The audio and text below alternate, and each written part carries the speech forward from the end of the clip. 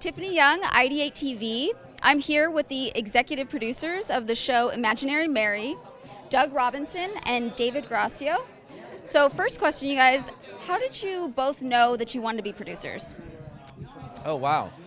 Uh, well, for me, of course, the, the producing part of what I do is being a writer first. So that was really, that's my first love is sort of being in a writer's room and thinking up stories with other writers and writing scripts. And the producing part is something you sort of work up to as you as you continue writing and your career sort of keeps going.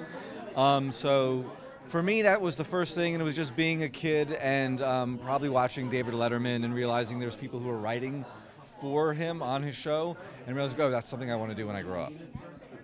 Um, for me, it's the same thing. As a kid, I just loved movies and television, and when somebody told me that's something you can do as a job, well, what could be better?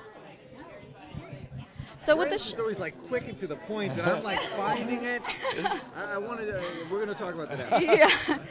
Okay, next question. So with the show, the idea for the show, how did it come about, and then how did it? How, what led to it getting coming to reality, like bringing it to life? How did you bring that idea to life? Um, well, I, as a producer, I meet with a lot of different writers and, and creators, and I had a meeting with Patrick Osborne, who had just won the Academy Award for his short film Feast. And I said, "Do you have any ideas you want to do as a television show?" He said, "I always have wanted to do a show about somebody who has an imaginary friend." I also produce a show called The Goldbergs, um, and I always say no one's more in touch with their inner child than Adam Goldberg. So I was like, "Dude, there's a great idea for a show. You got to hear this."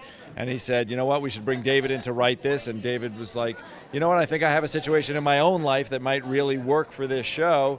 And then basically we just stole David's life and added an animated character to it. I think you just answered the question. Yeah, he did. Yeah. okay. All right, final question. This is a fun one since this is WonderCon. Uh, if you guys could both pick a superpower, what would it be and why? Oh, it would definitely be to fly. It's um, it seems like to be the most invigorating, uh, and you know, once you're up, you don't ever have to come back down, which also seems enticing to me. You could read into that whatever you'd like. Um, well, since now I can't say flight, which was going to be my thing, uh, I would probably say just being invisible, uh, which as a producer is something you want to be. Nice. Thank you so much, Thank you you. guys. Thank you.